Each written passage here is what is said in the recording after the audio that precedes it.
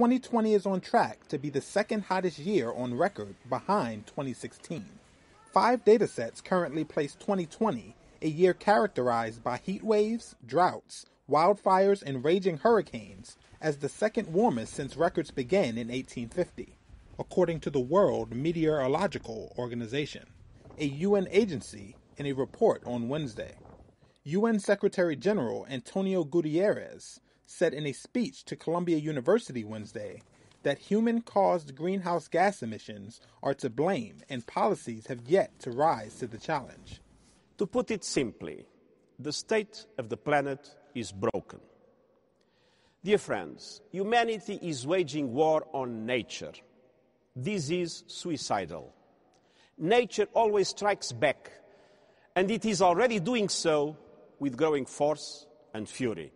This is an epic policy test, but ultimately, this is a moral test. The U.S. report said extreme heat stoked wildfires this year across Australia, Siberia, and the United States sending smoke plumes around the globe. Less visible was a surge in marine heat to record levels, with more than 80% of the global ocean experiencing a heat wave.